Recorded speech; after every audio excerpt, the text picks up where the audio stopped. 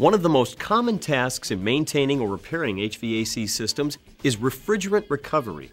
Understanding the different recovery methods will help you be more efficient.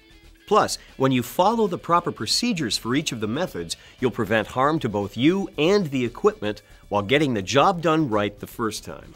Before we begin, let's talk briefly about safety. One of the most important aspects of safety in recovery is having the right equipment and understanding which type of refrigerant you're recovering. For example, if you're working with R410A, you're working with significantly higher pressures than if you're working with R22. This means you may need different equipment, equipment made to handle the higher pressures associated with R410A. So, what equipment will you need? First, you'll need a good pair of safety goggles, like these from Yellow Jacket, and a good set of gloves to prevent frostbite.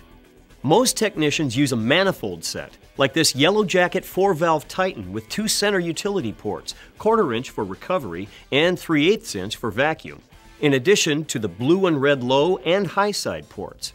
Make sure the manifold gauges are rated for the refrigerant pressure you're working with. You'll also need a set of hoses.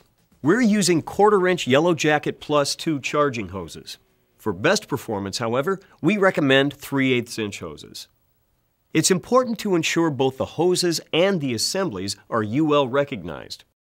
And be sure to check the condition of your hoses prior to use. It's best if you can use the shortest hoses possible for a given job, making for more efficient recovery and reducing the impact on the environment. Obviously, you'll also need a recovery unit, like our Yellow Jacket Recover XLT.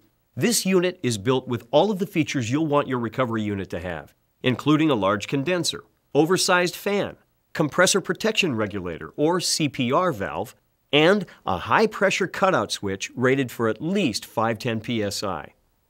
Some manufacturers offer a subcooling feature, which is an excellent way to increase your rate of recovery in high ambient conditions. Finally, you'll need the appropriate recovery tank. Now, when recovering R410A, you need to use a US DOT 400 recovery tank. Why? Well, a standard DOT 350 will not safely handle the high pressures of R410A. So be sure you have the right tank for the job and that you do not fill it beyond 80% capacity, a DOT regulation. Another DOT regulation requires a recertification of the tank every five years, so be sure to check the date on your tank to see if a recertification is due.